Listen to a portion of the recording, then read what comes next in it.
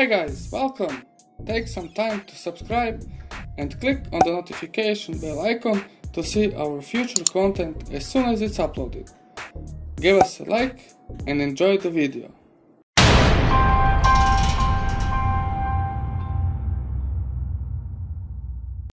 Hello guys, welcome to a new Zenbox video. Today we are unboxing a piece of peripheral that's on a budget side. It's a gaming headset, more specifically a Ziva gaming headset by Trust. So without the further ado, let's jump in. As you all know by now, we are starting off with the packaging.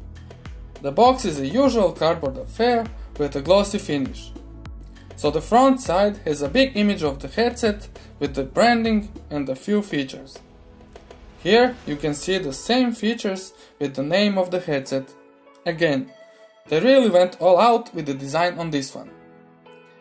Backside is a bit more interesting and gives us some more insight on what we get inside of the box and some gaming, comfortable and so on text in a ton of languages. Interesting part is this QR code in case you want to learn more about this product. A side view of the headset is here, it's not looking bad, at least not on the photo. Top side has nothing special on besides the name, and the bottom portion is nothing to write home about either. Let's unbox this thing. And for that, we are going to use our trusty knife. To open up the box, we have to cut through two plastic seals. Opening the box reveals the headset and the included accessories. Here you can see nothing else is in so let's move on. First we are going to check out the included documentation. And the first part of it is this basic user guide, showing us how to assemble the headset and the included cable, as well how to connect the headset to the PC. Next in line is a leaflet containing some legal information like warranty information and stuff like that in a bunch of languages. We're not going to linger too much here so let's move on to the next item. And here you can see an extending split cable allowing you to connect the headset to the PC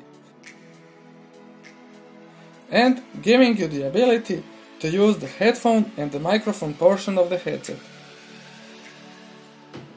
The cable is made out of some rubbery feeling material. And here we are. Finally, we can check out the main attraction of the video the headset itself. The headset is pretty lightweight but very flexible.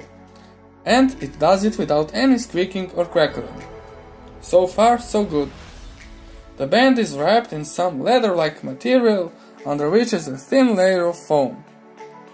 The foam is too thin, in our opinion, as you can feel the plastic band under the fingers while squeezing it. As we said earlier, the headset is very flexible so it shouldn't break easily if you use it as intended.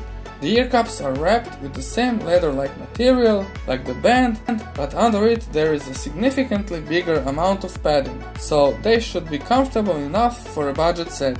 The size can be adjusted by sliding both sides up or down, but this feels pretty cheap, as the entire assembly is plastic, but at least the adjustments stay in place. The left ear cup has a built-in volume wheel which is nice and it feels okay to use it.